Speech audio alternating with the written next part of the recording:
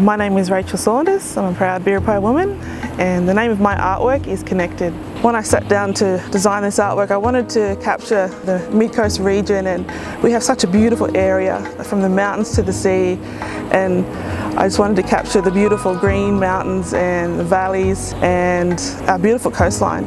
So here we have the central circle there represents the people coming together and then the lines going out represent the people travelling to meet together from the mountains or from the coastal areas.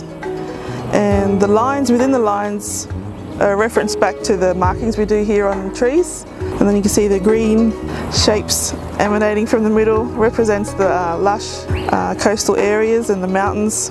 And then we have the line work in the blue representing the beautiful waters that we have here in the mid-coast region. I've been creating artwork since I was about 11 but professionally probably since I was 21, so around 19, 20 years now. My father's an artist, Russell Saunders, and he works in clay and paint and wood carving, so that was always around my life. And I grew up watching that and learning that.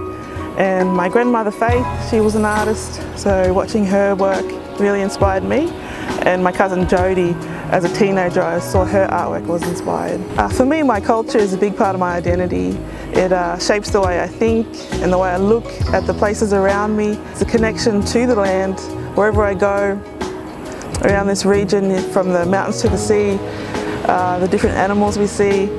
It's deep within us and, um, and it's just a part of us. Um, like I said, a place of belonging and togetherness.